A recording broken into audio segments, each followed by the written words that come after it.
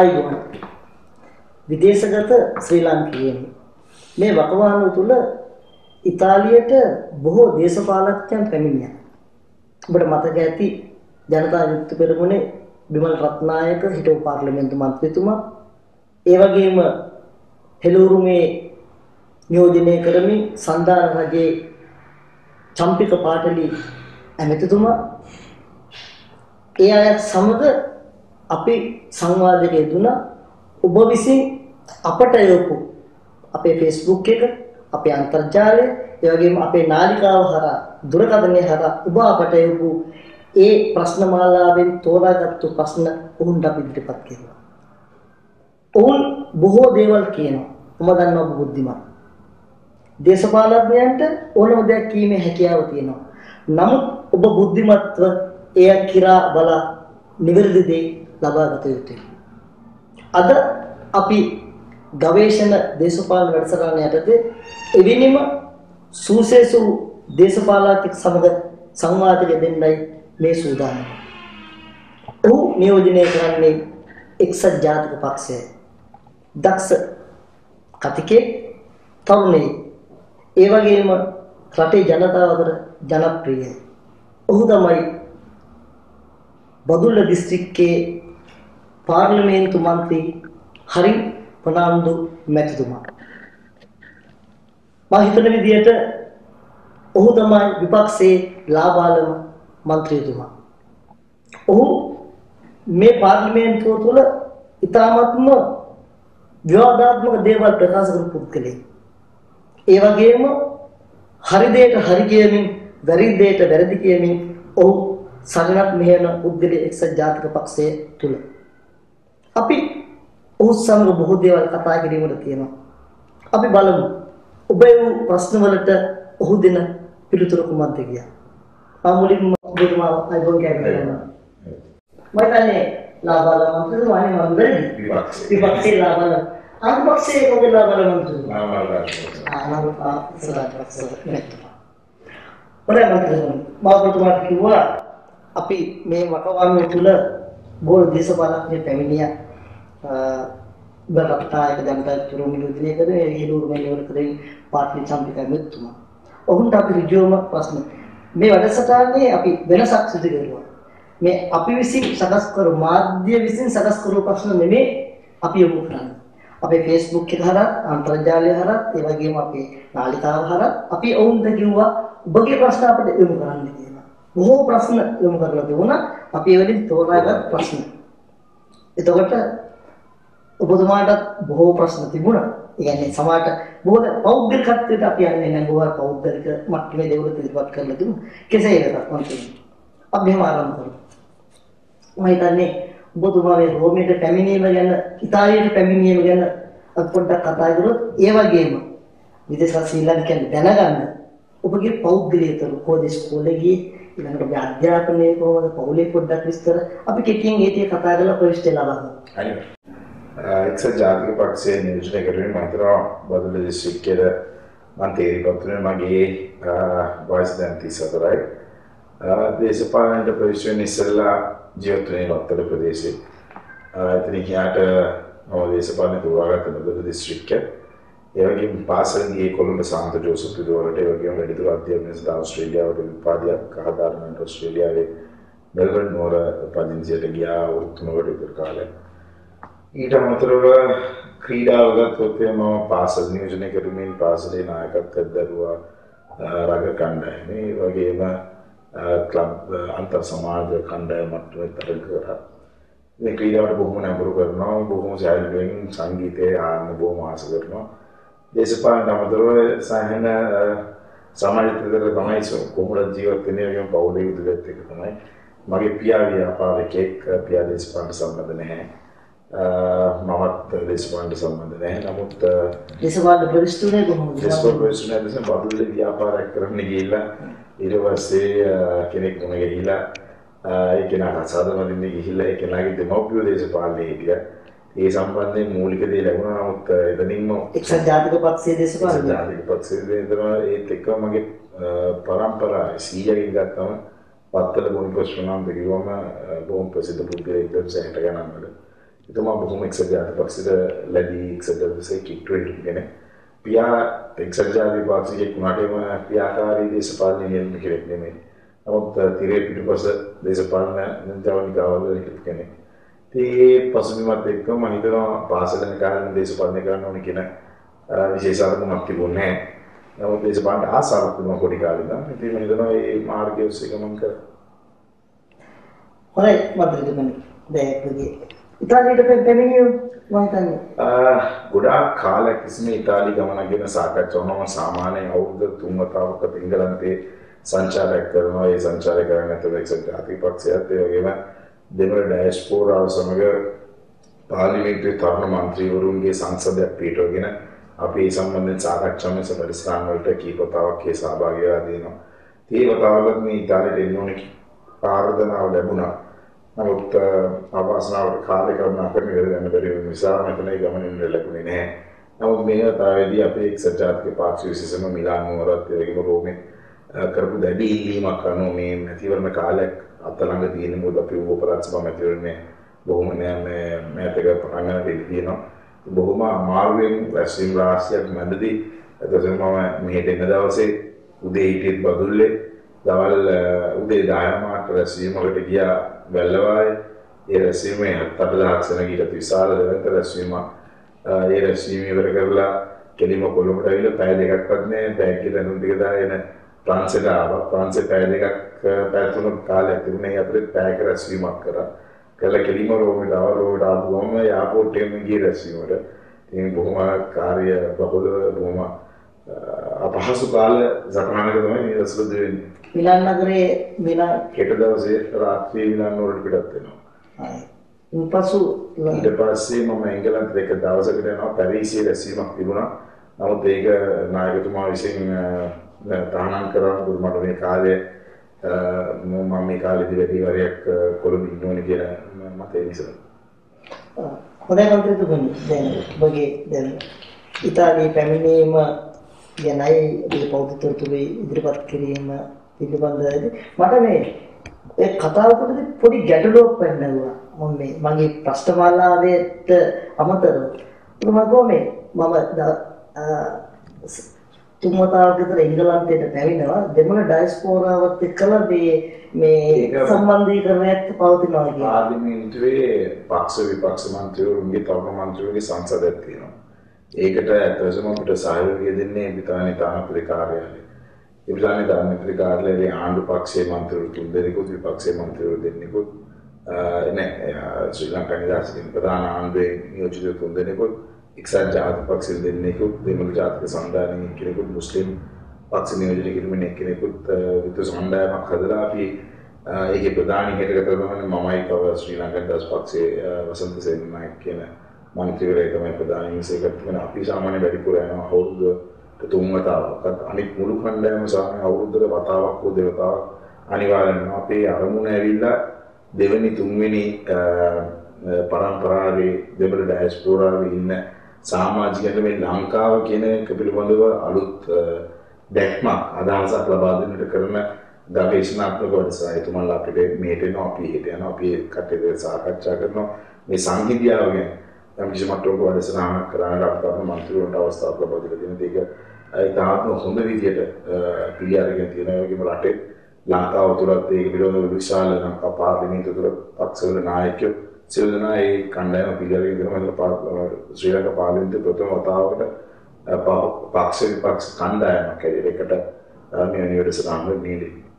සාමාන්‍යයෙන් එක්සත් ජාතික පක්ෂයට රජයෙන් කරන චෝදනාවක් තමයි මේ මේ රට බෙදීමට දෙමළ ඩයස්පෝරා සමග රාශිගතව ගනුදෙනු කරනවා මේ ඒ පිළිබඳ රහස් කුමන්ත්‍රණය කරනවා කියලා. ඒතර මේ එතකොට මේ මේ කියමනයි මේ කියන අතර පොඩි පරස්පරයක් තියෙනවා මන්ත්‍රීතුමනි. අනිවාර්යයෙන් මේ දේශපාලනය තුළ තමන්ගේ වාසිය ලබා ගන්නට අවශ්‍යතාවය තියෙනකොට මෙවැනි ප්‍රකාශ කිරීම සාමාන්‍ය දෙයක්.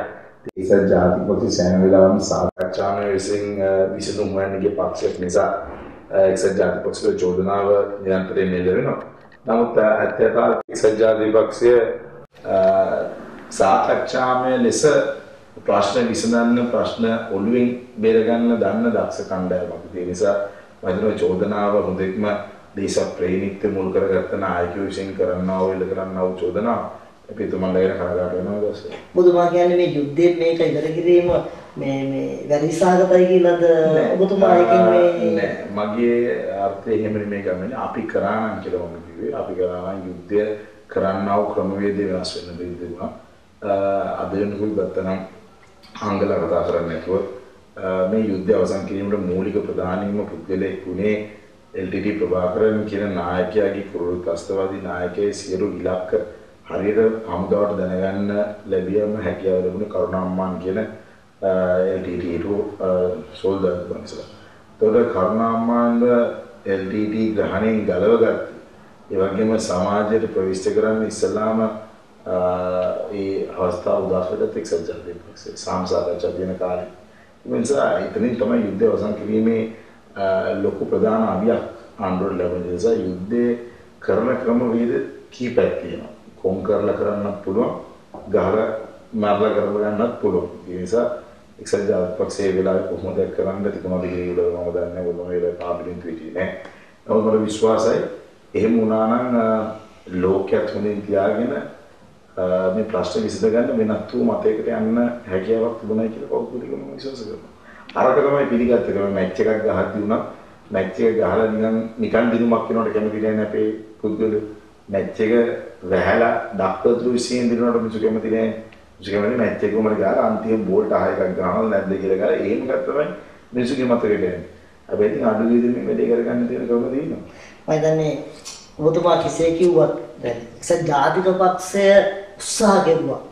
කාලයක් තිස්සේ තිබු සාකච්ඡා කිව්වා අර සාකච්ඡා මේ සාකච්ඡා ඒ හැම එකෙම සිද්ධ වුණේ LTT සංවිධානය ප්‍රබල වුණා ඒ වගේම ඔවුන් රැවට්ටුවා ඔවුන් ඔවුන් කිසිම නම්‍ය සිරිපාවයක් දැක්ුවේ නැහැ. ඒකේ අතර මහින්ද රාජපක්ෂ ජනාධිපතිතුමත් මම හිතන්නේ යුද්ධයකට කෙලින්ම ගියේ නැහැ ඔබතුමා කියන බලයගත යුද්ධයක් කරුවේ නැහැ සාකච්ඡා කරුවා. සාකච්ඡාවේදී ඒගොල්ලෝ සාකච්ඡාවට නම් සිටි නැත්තම් ඉල්ලන්නේ යුද්ධේ නම් මම ඔබතුමා ඉස්සර දුර යන්නේ ඉස්සෙල්ලා මේ කියන්නේ අපි දෙන්න අතර ඝර්ෂණයක් නෙමෙයි යුද්ධේ කරාද නැද්ද කියන එක හොඳද නැද්ද කියන එක නෙමෙයි අපි ඒ ස්ථාවරේ හිටියන අපිත් ඒ අවස්ථාවේ හිටියන යුද්ධයක් කරන්න ඕන නම් යුද්ධය අපි කරනවා නමුත් මම කියන්නේ ඊට ඒත් එක්කම මුලින් ගන්න පුළුවන් දේකුත් තියෙනවා මේක. උපක්‍රමශීලී භාවය. අද අද වෙනකොට ඒ උපක්‍රමශීලීත්වය පිළිබඳව ආයුධයක් අද ලෝකේ තියෙනවා. අද කවුරු කතා කරත් ශ්‍රී ලංකා රජයට ජාත්‍යන්තර වශයෙන් විශාල අභියෝගයන් රාශියක මුහුණ දෙන්න සිදුලා තියෙන අවස්ථාවක්. ඒ නිසා අපි කියන්නේ නෑ ලෝකයේ අනිත් රටවල් වලට යටත් වෙලා අපි ජීවත් විය යුතුයි කියන එක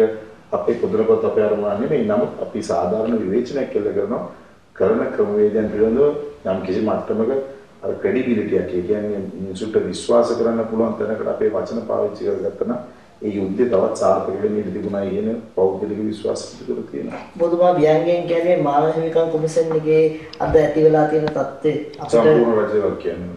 හරි අපි කියමු රටක් වශයෙන් දැන් රජය වල් කියනවාට මේකට මුහුණ දෙන්න රටක් වශයෙන්. ඒක රටක් වශයෙන් විපක්ෂයට තියෙනවා වගකීමක්. අනේ දැන් උදාහරණයක් වශයෙන් ඉන්දියාවේ ඇතිවෙච්ච තත්ත්වෙදී ඒ සාකච්ඡාවට ඇරියේ විපක්ෂ නායකයා වැළි මොකද ඉන්දියාවේ ඉන්දියාවේ ඇතිවෙච්ච ප්‍රාන්ත අතර වෙච්ච ප්‍රශ්නේදී ප්‍රශ්නේදී ඉන්දියාව ඒ ඒ වෙද්දී අගමැති ඇයි විපක්ෂ නායකයා එක්සත් සංවිධානයේ ඒ විදිහට සාකච්ඡා කරන්නේ.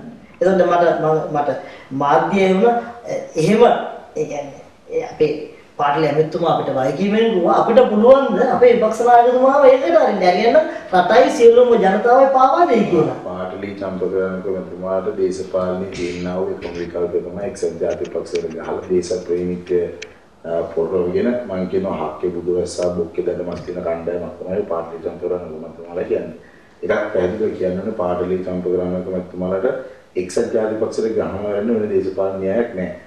ඔක ටිකක් බුදුමයාගේ නම කිව්ව නිසාම කියන්න ඕනේ මේ කැබිනට්ුවේ ඉන්න ඇමතිවරයෙක්ට අපිට නම් අති විශාල වශයෙන් ලැජ්ජයි මේ රටේ බුදුදහම ගැන කතා කරන බුදුදහම ආරක්ෂා කරන්න ඕනේ කියලා කණ්ඩායම මම හිතනවා මේ රටේ කැසිනෝ පනත් වලට විරුද්ධව කතා කරන්න බැරි කුඩු ගෙනනවට විරුද්ධව ඡන්දයක් දෙන්න බැරි කණ්ඩායමක්. ඒ නිසා මම නම් වැඩිපුර ඒ ඒ දේශපාලඥයෝ ගැන කාලෙන් කාලෙට නොයෙකුත් වැඩිවල එල්ලිලා යන දේශපාලකයෝ ගැන මම කතා කරන්න දෙයක් නැහැ. නමුත් පැහැදිලිව එක දෙයක් කියන්නට ඕනේ විපක්ෂ නායකතුමාව ඉන්දියාවේ ඇරියේ ඉන්දියාවේ ජනාධිපතිව විපක්ෂයට විශ්වාස කරන්න පුළුවන් නිසා. අවාසනාවට අපේ ජනාධිපති අපිට දේශපාලන පක්ෂයක් කියලා අපිට විශ්වාස කරන්න බෑ. මොකද අපිත් එක්ක ඇවිල්ලා තියෙන එළඹිච්ච එකඟතාවයන් කිහිප වතාවක්. ඒ එකඟතාවයන් වලට සාධාරණ විසඳුමක් ලබා දීපු නැති නිසා එක්සත් ජාතික පක්ෂයේ මහින්දරාට ජනාධිපතිවරයෙක් එක්ක කටයුතු කිරීමේදී යම් යම් අරමුදු ගොඩනැගෙන්නට පුළුවන්. නමුත් එක්සත් ජාතික පක්ෂයෙන් එහෙම ඉල්ලීමක් කළා තිබුණා නම් අපි හිතන මේ ප්‍රශ්න මෙච්චර දුරද කියන්නේ නැහැ.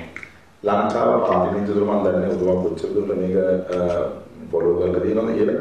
පාර්ලිමේන්තුව පැහැදිලි ප්‍රකාශ කරලා දෙනවා රට වෙනුවෙන් ගන්නා තීන්දුවවලදී අපි ඉන්නේ වෙනස් ස්ථානයක. අපිට ආණ්ඩුව පිළිබඳ විවේචනයක් තියෙනවා. අභ්‍යන්තරය පිළිබඳව කටයුතු කරන පිළිබඳව නොයෙකුත් දීපු පොරොන්දු ඉෂ්ටරම කියන පිළිබඳව අපිට විවේචනයක් තියෙනවා. නමුත් රටක් කියන තැනකදී අපි තාම තාම සක්‍රියව තියෙන කණ්ඩායම. ඒ වගේම අද කියනවා මේ ලංකාවේ විවේචනය කරනවා කියලා. මුතුමාට එකක් මතක් කරලා දෙන්න ඕනේ. ඒ කාලේ ඉස්සරහාම මානව හිමිකම් කොමිෂමට ගියේ මේ ලංකාවේ එක්සත් ජාතික පක්ෂෙ නෙමෙයි. ඉස්සරහාම මානව හිමිකම් කොමිෂමට ලංකාවට විරුද්ධව ගියේ මහින්ද රාජපක්ෂ ජනාධිපතිතුමා. ඒක මේ ඉතිහාසයේ කන්ටේන අමතක වෙලා තියෙනවද මම දන්නේ නැහැ. නමුත් එක්සත් ජාතික පක්ෂයට විරුද්ධව ආජන්ටිනාව යෝජනාවක් මානව හිමිකම් කවුන්සිලට ගෙනාපු වෙලාවේ ප්‍රේමදාස මහතා එදා ජනාධිපති හැටියට ඇරියේ රනිල් වික්‍රමසිංහ මහත්තයා තමයි මේ යෝජනාව බේරගන්න ඇරි. ප්ලේන් ගණන් කඩකේ දාලා ඇරිනේ. 50 ගණන් 70 ගණන් 60 ගණන් වල ලොකු දූත පිරිස ඇරිනේ. දෙන්නම ඇරිනේ. ඒ දෙන්න ඒ ඒ යෝජනාව ලංකාව පරාජය වුණේ දෙන්න. ඒ නිසා එක්සත් ජාතික පක්ෂයේ දින ලොකු හැකියාවක් මේ ඩිප්ලොමසි රාජ්‍ය තාන්ත්‍රික භාවය කියන එකේ පිළිබඳව වෙනස් වූ අර්ථ එක්සත් ජාතික පක්ෂයේ තියෙනවා. නිසා රාජ්‍ය තාන්ත්‍රිකෝ කියන්නේ දේශපාලන පත්වීම් දීලා තානාපති පත්වීම් වලට වෙන කණ්ඩායම නෙමෙයි. මම කැමති නැහැ කියන්නේ මේ රටේ වුණා ඉන්නේ දේශපාලන පත්වීම්. ඉතින් මේ රාජ්‍ය තාන්ත්‍රික භාවයේ දේශපාලන කියන මට බෑ රාජ්‍ය තාන්ත්‍රිකයෙන් කරන වැඩේ මට කරන්න දේශපාලනයෙන්. දේශපාලනයෙන් විශ්‍රාම වෙනකොට තානාපති කෙනෙක් කරලා ඒ රටකට අරනවා කියන්නේ මම නම් දකින්නේ බොහොම සතුට කරසනවා. ඒ නිසා මේ රටකට මෙවැනි ලෝකේ ප්‍රධාන රටවල් මේ මෙවැනි රටවල් වල තමයි විශේෂයෙන් යුරෝපයේ වගේම ඇමරිකාව කියන ප්‍රධාන ස්ථානවල වලට එතන බොහොම තාක්ෂ පළපුරුදු මේව ගැන අධ්‍යාපනය උගත්කමක් තියෙන පුද්ගලයෝ වෙනවා. ඒ නිසා ඒ රාජ්‍යතාන්ත්‍රික භාවයේ මේ ආණ්ඩුව නැතිවීම තුළ තමයි මේ ආණ්ඩුව ජාත්‍යන්තර වශයෙන් ප්‍රශ්නයක් ඇවිල්ලා. මන්ත්‍රීතුමා මේ අර හෙළුරුමේ නියෝජනය කරන ඇමරිතුමා පරි එමතුමා හෙළුරුමේ ගැන ප්‍රකාශයක් කළා මේ කුඩු වලට මේ පක්ෂ පාතයි ඒ ගැන මුත් කතා කරන ඊට නමුත් මේ බෑගකදී ගෙනාවු ක්‍රමෝපාය සංවර්ධන ඒ ගැසට පානද ගැසට නෙමෙයිට හෙළුරුමේ ප්‍රසිද්ධයෙන් ඒ විරුද්ධ ප්‍රචාරණ පාවිච්චි කරනවා විරුද්ධ ඡන්ද පාවිච්චි කරන්නේ ඒකේ උතුමරල් දුන්නේ.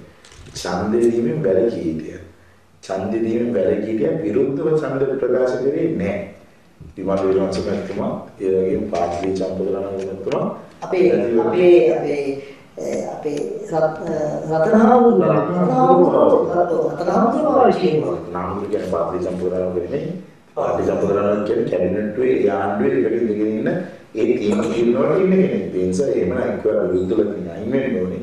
එතන ඉඳගෙන නිකන් දෙපැත්තම සීනි කිරේ ඉන්න එකේ ප්‍රතිපත්තියක් නැහැ නෙමෙයි අපි නම් දකින්නේ හරි හරි ප්‍රතිපත්තිය කියන්නේ. ඔය කැබිනට් එකේ විරුද්ධ වුණා. කැබිනට් එක විරුද්ධ වුණාට කැබිනට් එකට දැන් ආණ්ඩුවට යම්කිසි දැනීමක් කරන්න ඕන නම් ඒ කැබිනට් ඉවෙන කැබිනට් එකේ ඉඳගෙන දැන් ඉදෝදේ මෙවැනි ප්‍රධාන ප්‍රශ්නයකට විරුද්ධ නම් එතන විරුද්ධයි කියලා ඒකේ තමයි ඡන්දදායකය ආරක්ෂා කරගෙන ඊට පස්සේ ඒ කැබිනට් දෙක අනිත් දේවල් අතුසමයි කියන්නේ ඒක ප්‍රතිපත්තියකට පිළිගන්නේ නැහැ. අද විමල් වංශරත්තුමා අදත්තා ප්‍රසිද්ධ ආණ්ඩුව විවේචනය කරනවා. ප්‍රසිද්ධ ආණ්ඩුවේ ආර්ථික ඝාතකයෙක් ඉන්නවා කියනවා මුදල් අමාත්‍යාංශයේ ලේකම් මුදල් අමාත්‍යාංශයේ අමතුතුමා ජනාධිපතිතුමා ජනාධිපතිතුමා බල කරපු ලේකම් ආර්ථික ඝාතකයෙක් ඉන්නවා මොකද තුමා කියන්නේ? එහෙම කියලා කොහොමද ආණ්ඩුව තුලින්? මේ මේ කරන්නේ රඟපෑමක් මේ දේශපාලන රඟපෑම මේ දෙන්නම කරන්නේ. අපි විශ්වාස කරනවා ටෙජන් තවලම දෙන්නේ කියලා. හොඳයි මේ මන්ත්‍රීතුමනි අපි සාකච්ඡාව යද්දී බොහෝ දේවල් ගැන කතා බහ කරන්න දැන් අවසන් අපි මෙතනින් අවසන් පළාත් සභා මැතිවරණය ඒක දැන් අවසන් ඒ පිළිබඳ බොහෝ දේවල් කතා බහ කරලා තියෙනවා ඒ වගේම මම දැක්ක ඔබතුමා දෙරණ 360 වැඩසටහනට කැඳවලා තිබුණා මේ පිළිබඳ සාකච්ඡා කරන්න. එතනදී ඔබතුමා පිළිගත්තා. එක්සත් ජාතික පක්ෂයේ මීට වඩා ජයග්‍රහණය කිරීමට හැකියාව තිබුණා මීට වැඩිය බවක්‍රමශීලී වුණා කියන එක. ඇත්තටම මම හිතන්නේ රජයට යම්කිසි පසුබෑමක් ඇති වෙලා තියෙනවා.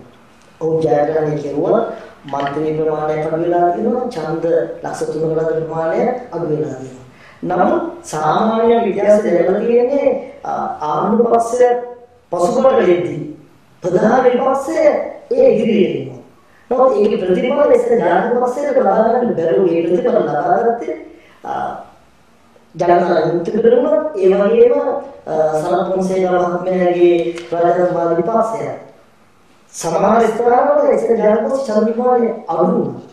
සුළු වශයෙන් තමයි සමාජයෙන් වැඩි වුණේ. එතකොට මේ මේ ගමේ වෙන්නේ කොහොමද මතකද? සම්පූර්ණ ඉගෙන ප්‍රකාශ කරන එකක් තේරුම් ගන්න ඕනේ එක්සත් ජාතික පක්ෂයට මේ මැතිවරණ ගෙනල්ලා දාන්නේ ආතිගරු ජනාධිපතිතුමා සහ එතුමාගේ කැබිනට් සහ ආණ්ඩුව එක්සත් ජාතික පක්ෂයේ හොඳට ඉන්න තාලෙක නෙමෙයි. ඒවත් සාමාන්‍ය කාලෙක මේ මැතිවරණ කියනවත් නෙමෙයි. එක්සත් ජාතික පක්ෂය යම් කිසි පක්ෂයක් අවුරුදු ගාණක් ඉන්නකොට ආණ්ඩුව ගතියක සාමාන්‍ය දෙයක්. අපි දැන් අවුරුදු 20ක් විපක්ෂේ ආණ්ඩුවක් අවුරුදු 10ක් විපක්ෂේ ඉන්නකොට ආණ්ඩුව තුළ අතිවිශාල අර්බුද ඕන තරම් තිබුණා නිර්මාණය වුණා. නිසා අපි අර්බුදයක් ඇතුලේ ඉන්න අවස්ථාවකදී මේ හිතන අපිට කාලේ බොහොම අඩුවෙන් තිබුණා සැකසෙන්න. අපි බලාපොරොත්තුනේ ආණ්ඩුව අපිට ගහලා අපේ ඡන්දපතන CC එකට කෑලි කෑලි වලට විසුරුවලා දාන්න නැති කරලා. නමුත් අපි මේ මෙතෙන්ටිගේ බලපෙළලියට කොළේලියක් කියනවා. බල බලපෙළලියට කොළේලියක් කියමේදී ආණ්ඩුව අපි විවේචනය කරේ බලපෙළලියට කොළේලියක් කියලා තිබ්බේකවත් කරගන්න හම්බ වෙන්නේ නැහැ. අන්ත පරාජයක් ලබනවා කියලා තමයි ආණ්ඩුවේ මෙතෙන්ට ගියේ.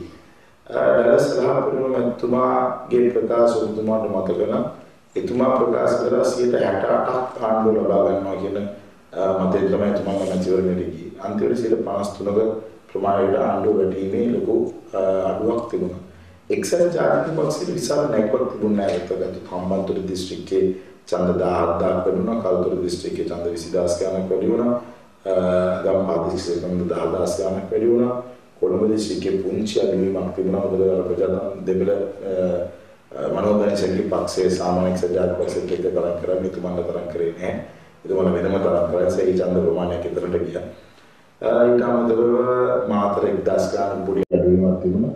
ගාල්ලි මම හිතන්නේ වැඩිවීමක් තිබුණා. ඒකද ඒ නිසා තරම්ම ලොකු අරුමුදයක් එක්සත් ජාතික පක්ෂයට බලාපොරොත්තු වුණ තරම් ලැබුණ නැතුණාට ඔය ආණ්ඩුව බලාපොරොත්තු වෙච්ච විනාශ එක්සත් ජාතික පක්ෂයට ඇතිවුණේ නැහැ. ඒ නිසා අපිට විශ්වාසයක් තියෙනවා මේ මැතිවරණේ අපි ඒ වෙනකොට අපේ නායකත්ව මණ්ඩලයේ පහතුලා මාසේ මාසික කාලයක්වත් නැහැ විශ්වාසයක්. මේ ප්‍රශ්න තිබුණා නාම යෝජනාවල ප්‍රශ්න තිබුණා. නාම යෝජනා දෙන්නේ කියලා ඒ කට්ටිය හම්බුගත කරගත්තා. අපේ නාම යෝජනා නොලබිච්ච දෙතුන් දෙනෙක් ප්‍රජාතන්ත්‍රවාදී ජනතා පක්ෂයේ නාම යෝජනා අරගෙන ඒ දින්න. ඒ එක්සත් ජාතික පක්ෂයේ කීප දෙනෙක් ඒ පැති වලින් ඉල්ලලා එතනින් ජයග්‍රහණය කරා.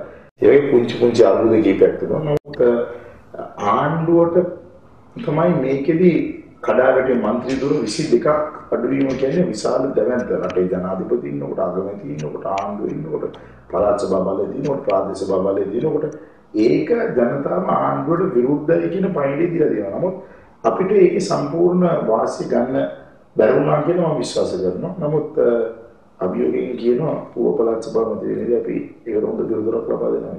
උපාසක සභාව ගැන අපි කතා කරන එක විශේෂයි ඔබතුමාගේ ප්‍රදේශය නිසා කෙසේත් මන්ත්‍රීතුමනි මේ අපි ඔබතුමා කියන්නේ මේ අපිට සුළු සුළු අර්බුද මම මැතිවරණ කීයක් පරාජය වුණාද? ඒ හැමතැනම කිව්වේ ඔබතුමාලා සුළු සුළු අර්බුද තියෙනවා අපි විස විසඳ ගන්නවා කියලා කිව්වේ. අදටත් ඔබතුමාලාගේ අර්බුදේ ඉස්සෙල්ලා ඒකට උත්තර දෙන්නම්. ඔබතුමාගේ ප්‍රශ්නේ අහන්න ඉස්සෙල්ලා ඔබතුමා මාධ්‍යවේදී කැරියට ඔබතුමාට ඉල්ලීමක් කරනවා 1977 ඉඳන් 94 වෙනකන් අපිත් මේ රාජපක්ෂ ආණ්ඩුව කරනවා වගේ පළාත් සභා කඩ කඩ ප්‍රාදේශ සභා කඩ කඩ නගර සභා කඩ කඩක තිබ්බොත් ආණ්ඩුව 54 පාරක් පරාදයි මේ වෙනකොට. ඒ කියන්නේ 77 ඉඳන් 94 වෙනකන් තිබුණු ඡන්දවල අපි මේ ආණ්ඩුව කරපු න්‍යාය පත්‍රයට ගියා නම් අපි මේ අපි අපි 27 පාරයි කරාද ආණ්ඩුව 54 තාවට පරාදයි වෙනවා. ඔබතුමා සංකේතයක අපිට ආරම්භ කරන්න. බොදුබා කියන්නේ උත්සාහ කරන්නේ කඩ කඩ තියෙන නිසා දක්වා උත්සාහ ජාති පක්ෂේ පන්නේ ඒකනේ ඕකෙන්නේ මේ කියන්නේ මෙච්චර අපරාධයි, හච්චර අපරාධයි, උච්චර අපරාධයි. මේ කාගෙනි මේ කාගෙනි මේ න්‍යාය පත්‍රය. මේ න්‍යාය පත්‍රය සකස් කරලා දෙන්නේ මහින්ද රාජපක්ෂ මහත්තයාගේ ආණ්ඩුව. ඒ න්‍යාය පත්‍රය තුලින් විපක්ෂයේ පිළිබඳ තියෙන විශ්වාසය මිනිසුන්ගෙන් ඈත් කරන්න කරන ක්‍රමවේදය. ඒක කරන්න කරන්න ආණ්ඩු පක්ෂයක් වශයෙන් ඒගොල්ලෝ බලය රැකගන්න තමයි උපක්‍රම පාවිච්චි විපක්ෂයක් වශයෙන් මොකද තියෙන්න? ඒ උපක්‍රම පරාජය කිරීමේ ඊටත් වඩා උපක්‍රම තියෙන්න ඕන. ඒලම මේ කියන්න දන්නේ එහෙම ප්‍රශ්න තිබිලා අපි 2000 ජනාධිපති කෙනෙක් ඉන්නකොට අපි ආණ්ඩුවක් ගත්ත පක්ෂයක්. ජනාධිපති කෙනෙක් ඉන්නකොට ආණ්ඩුවක් පෙරලා දාන්න පුළුවන් වෙච්ච පක්ෂයක් එක්සත් ජාතික පක්ෂය. ඒ නිසා ඔය මෙච්චරයි හතරයි උච්චරයි කියලා කියන එක ඇවිල්ලා දේශපාලන වේදිකාවේ තමන්ගේ මත ඉදිරිපත් කරගන්න තමන්ගේ මේ ශක්තිභාවන්තභාවය පෙන්වන්න කරන මේ කඩ යන ඇමතිවරු කියන කතාව. නමුත් ඒක ඇත්ත යථාර්ථය. මම ඒක පරාජය පරාජය පිළිගන්න ඕනේ. ඔබතුමාට කියන දෙසමක් දෙන්නම් අර්ජුන රන්තුංග මහත්තයා ලෝක කුස්ලාමි 99 දිනන් ඉස්සෙල්ලා. මම සම්බන්ධ පරාද? මිනිසු මිනිසු කිච්චර බැලුවද බැලුවේ නැද්ද? පාලන ගහන ගහන එක පරාද. ගහන ගහන එක අපිට ලකුණු ටික ළඟට එන්නත් බෑ ළඟට ආව මිනිසුන්ට සතුටුයි. හැබැයි අන්තිමට 99 පාට කොහෙන්වත් හිතන්නේ කියලා පරිදි මේ ක්‍රිකට් තරගයේ දායකයන් කරලා අද ලොකු සුනාය 30 වයි. ඊට පස්සේ තමයි පාට මේ ක්‍රිකට් වලට නැගීමක් ආවේ. ඒ නිසා ඒ වගේ මේ පරාජය කියන්නේ හැමදාම අමීරි අත්දැකීමක් වුණාට හොඳ පෙරහුරුවක් කියන එකයි අපි දකින්නේ. ඒ නිසා අපිට විශ්වාසයක් තියෙනවා. ඔය කතා කරන ඔය කියන ලුකුවට හිතාගෙන ඉන්න ආණ්ඩු මේ ලෝකෙ හොඳටම මෙట్లా තියෙනවා. ඒ නිසා ගැටලුවක් නැහැ කොයි වෙලාවෙද කියන්නේ තියෙන්නේ කියන්නේ දැන් ජාති පක්ෂ අර්බුදය විසඳලා මම හිතනවා අර්බුදයක් විසඳෙන්න ඕන එකම ක්‍රමය තමයි ජයග්‍රහණය කොහේ හරි. ඉතින් අපි විශ්වාස කරන්නේ මේ පළාත් සභාපතිවරණය වුණත් අපි ජයග්‍රහණයක් ලැබුවොත් ඒ කියන්නේ ලොකු විශාල පිම්මක් පැන්නොත් එතනින් තමයි මේ අර්බුද වලට නිමාවක් ලැබෙන්නේ. ඒ නිසා එහෙම එනකම් මේ අර්බුදයන් එක සාමාන්‍ය දෙයක් සාධාරණ දෙයක් ඒක මේ ලෝකේ තියෙන ක්‍රමවේදය. මම ඒක ආයෙත් වෙන ක්‍රිකට් අත්දැකීමට ගියොත් ඒ කාලේ මතකද දැන්නේ ලංකාව ටීවී එක දිගට වරදිනකොට අපේ ක්‍රිකට් කණ්ඩායම බස් වලින් දාගෙන අරගෙන එක එක පූ- පුද පූජා පවත්වන්න කියලා. සාරි බබා ගාවට පවා මේ මුළු ක්‍රිකට් ටීම් එකම අරන් ගියා ඉන්දියාව. ඉතින් ඒ වගේ ප්‍රශ්න තියෙනකොට ඉතින් අර්බුද ඉතින් නිම වෙන්න නොකුත් දේවල් කරනවා.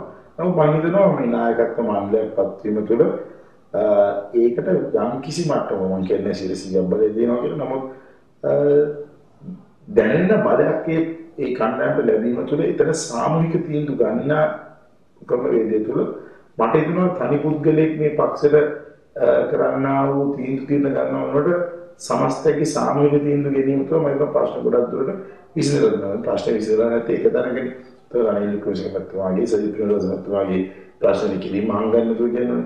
නමුත් මම විශ්වාසයක් කරනවා සජිත් ප්‍රේමදාසමත්තුමාගේ දේශපාලන වශයෙන් ඉදිරි ගමනක් යනවා නම් මම හිතනවා පක්ෂේ තුල පක්ෂයේ බහුතර මතයට අ, ගරු කරනවා. පක්ෂයේ බහුතර මතය කියන්නේ පක්ෂ පාක්ෂිකම නෙමෙයි. පක්ෂේ ක්‍රියාත්මක කරන කණ්ඩායමකුත් ඉන්නවා. එතුමා හිතනවා නම් පාක්ෂිකවම එකතු කරගෙන අ, පක්ෂින්න මෙහෙවන කණ්ඩායම ඕනේ නැහැ කියලා. අන්න ඒක තමයි අරුබුදේ නිර්මාණය. මම හිතනවා එතුමා දැන් බොහෝ බුද්ධිමත්. එතුමාට තේදී තේරුලා තියෙනවා. මම හිතනවා එතුමා අ, යම් කිසි හොඳ ස්ථාවරයකට ඇවිල්ලා තියෙනවා. ඒ වගේම රනිල් වික්‍රමසිංහ මහත්මයා ගොඩක් නාමශීලී වෙන්න පටන් ගන්න තියෙනවා. අපිට තරුණ මන්ත්‍රීවරුලා අපේ ඉන්නවා හය හත් දෙනෙක් හර්ෂ ඩිසිල්ලා මන්ත්‍රී රාජ්‍ය මන්ත්‍රී රුවන් විජේවර්ධන මන්ත්‍රී අමිලෝසන් පෙරේරා මම ජිත්පි පෙරේරා අපි කණ්ඩායමක් ඉන්න අලුත් මන්ත්‍රීවරුන්ට අපිට විශාල වගකීම් රාශියක් දීලා තියෙනවා. අපි කියන දේ බොහෝ දුරට අහන නිසා අපිට අ, පුංචි වෙනසක් අ, පක්ෂයට කරන්න පුළුවන් ස්ථාවර පේන තෙක් මානක තියෙනවා කියලා විශ්වාස කරනවා. දැන් අපි උඩ සම්බන්ධව මේ අර්බුදය ගැන කතා කරද්දී ඔබතුමත් මේ පක්ෂ අර්බුදය ගැන ප්‍රකාශයක් කරුවා මේ මෑතකදී. මම මතක් කරලා දෙන්නම්. මේ මාධ්‍ය මාධ්‍ය පළවෙනි සියලුම දේ සත්‍ය නෙවෙයි මාධ්‍ය පළවෙනිද. දැන් ඌව පළාත් සභාව කතා කරමු ළඟදී. ඌව පළාත් සභාවට ඔබතුමා ප්‍රකාශයක් කරුවා මහමැති අපේක්ෂාවස ඉදිරිපත් වෙන්න සූදානම්. ඊට ටික කාලයක් යද්දී ඔබතුමා ප්‍රකාශයක් කරුවා පක්ෂයේ සියලු දෙනාගේම සහයෝගය ලැබෙනවා නම් මම සූදානම් කියලා කියලා. කාලයක් නෙමෙයි. ඔය ප්‍රකාශනම ඉස්සලම කලේ වන්තනේ ඉඳලා බලන්න පුළුවන්. දෙන්න රූපවාහිනී නාලිකාවේ 300ට වැඩසටහනේදී මම ඉතින්දී මගේ ප්‍රශ්නයක් යවුවා දැසිල් ජයසේකර මහත්මයාගේ මාත් පක්ෂෙන් පැනලා යනවාද කියලා ආණ්ඩුවේ මහන්තිගම ඉඳන් මම කව- කවදාවත් එහෙම දැක්කෙන්නේ නැහැ. ඇඟිලි පහක් ගත්තම පස් දෙනාම එක වගේ නෙමෙයි මම දැසි ජයසේකර මැතිතුමා කරපු දේ මම කරන්නේ නැහැ කියන නමුත් ඊට පස්සේ කරලා ප්‍රශ්නයක් ඇහුවා මම එක්සත් ජාතීන් පක්ෂයෙන් ඉල්ලන්න සූදානම් කියලා. මම ඒ වෙලාවේ පැහැදිලි කිව්වා මට ඒක අභියෝගයක් නැහැ. මගේ පක්ෂය ඉල්ලීමක් කරනවා. පක්ෂේ නායකයෝ මේ තියෙන අරුබුද පසෙකලා එක වේදිකාවකට ඇවිල්ලා කියනවා නම් හරි. අම්මගේ පක්ෂේ පාර්ලිමේන්තු මන්ත්‍රී ධූරය කැප කරලා ඉල්ලනවා නම් මට ඒකේ වටිනාකමක් තියෙන්න ඕනේ. මොකද මට කවුරුත් මන්ත්‍රී ධූරය දුන්නේ නැහැ. කනිල් වික්‍රමසිංහ මැතිතුමා සජිත් ප්‍රේමදාස මැතිතුමා මා පාර්ලිමේන්තුවට අරන් ගිහලා අතරින් නෑ. එතන මගේ අතින් අල්ලන් ගියා. මම තනියෙන් ඒ සම්දේ මහන්සියලා තාම කැපකිරීම කළා මගේ ආදරණීය ඒ ප්‍රදේශයේ ඉන්න දුප්පත් අහිංසක ජනතාව නැත්තම් මට පාර්ලිමේන්තුවට යන්න වරන් නැහැ. ඒ නිසා මට ඒ ජනතාවගේ ලබා දීපු තීන්දුව පක්ෂ වෙනුවෙන් කැප කරන්න කරනවා. ඒකේ වටිනාකමක් තියෙන නිසා ඒක බුරු කතාවක් ඔය මඩ පත්තර තියෙනවා එක එක කට්ටියට කඩේන පත්තර දෙන සමහර විලම් කියනවා අපි එකක් කියලා ඊට පස්සේ වචනේ වෙනස් කරා කියලා ඉතින් ඒ වගේ නපුංසක පත්තර කීපෙකුත් ලංකාවේ ගෙන තියෙන බොහොම කනගාටුනේ පත්තර ගෙන. ඔබ ඍජුව සූදානම්ද මහමිත අපේක්ෂාගේ බදුල්ල දිස්ත්‍රික්කෙ ඉදිරිපත් කරනවා. අනේ මම අද දවසෙත් කොළඹින් නායකතුමාගෙන් තෙන් කරුදේශනතුමාත් දුරකථන කීපයක් ලැබුණා. තුවන්ට දැන් සූදානම් කොහේම එන්න සූදානම් වුණාට මට සාකච්ඡා කරන්න ඕනේ. මම මත් සූදානම්. මම දැන් වෙනකොට මගේ වැඩසටහන පටන් ගෙන තියෙන්නේ. ලොකු ප්‍රතිචාර ගොඩක් තියෙනවා. ඒක මම අභියෝගයක් බාරගන්නේ ජනාධිපතිතුමාගේ පෞද්ගලික ලේකම්ගේ ජනාධිපතිතුමාගේ අයියාගේ පුතාව ඒක තමයි තරංගයට යන්න මම සූදානම් වෙන්නේ. මට කිසිම ඒ පිළිබඳ චකිතයක් නෑ. මට එතුමාට එතුමාගේ නමට මට කිසිම බියක් නෑ. මට මගේ විශ්වාසය තියෙනවා ආත්ම විශ්වාසය තියෙනවා ජනතාව කෙරෙහි විශ්වාසයක් තියෙනවා. අන්තිම එතුමා මැතිවරණය කරන්නේ බඩුල්ල දිස්ත්‍රික්කයේ වගේම එකක් මත දියක්නන ඌව පළාත කියන්නේ ලංකාවේ තියෙන දුප්පත්ම ප්‍රාදේශීය ලේකම්කාරයල පහම තියෙන ප්‍රදේශය. අනුරාධපුරේ නෙමෙයි ලංකාව දුප්පත්ම, පොළොන්නරුව නෙමෙයි ලංකාවේ දුප්පත්ම, හම්බන්තොට නෙමෙයි ලංකාවේ දුප්පත්ම, දුප්පත්ම ප්‍රාදේශීය ලේකම්කාරයල පහම තියෙන්නේ ඌව පළාතේ.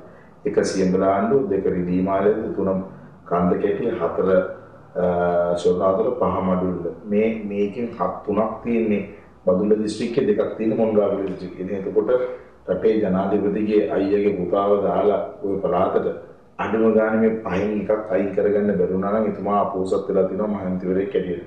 වගේම එතුමා බදුල්ල දිස්ත්‍රික්කයේ කිසිම සේවයක් කරේ නැහැ මහන්තිලා ඇටියට. එතුමා මොන්රාගලට යම් කිසි මට්ටමක සේවයක් කරා නිසා. ඒක පැහැදිලිව තියෙනවා අපි ජනතාවත් අතර හිටියේ අවුරුදු කාලේ පුරාම ජනතාවගේ දුක සැප වෙනුවෙන් අපි විශාල කැපකිරීම් රාශියක් කරලා තියෙනවා. අපි රටේ ප්‍රශ්න වෙනුවෙන් හඬ නගර කතා කරලා තියෙනවා. අපි හැංගිලා මන්ත්‍රී දූර මිතු දූර වගේ හිටියේ නෑ අපි සටන් කරා. ඒ නිසා විශ්වාස කරනවා ජනතාව වෙනසක් ඕනෙන් වෙනස පෙන්වන්න හොඳ අවස්ථාවක් තෝතන්නක් තියෙනවා. ඉතින් ශ්‍රී ලාංකිකයනි අපි තව බොහෝ දේවල් තියෙනවා එතුමත් එක්කලා කතා කරන්න. ඒ වගේම සාකච්ඡා කරන්න අපි කෙටි විරාමයකට යන්න සූදානම් වන්නේ. ඔබගේ ප්‍රශ්න අපි තෝරාගත් ප්‍රශ්න මේ විරාමයෙන් පස්සේ එතුමාට අපි ඉදිරිපත් කරනවා රැඳී සිටින පස්සම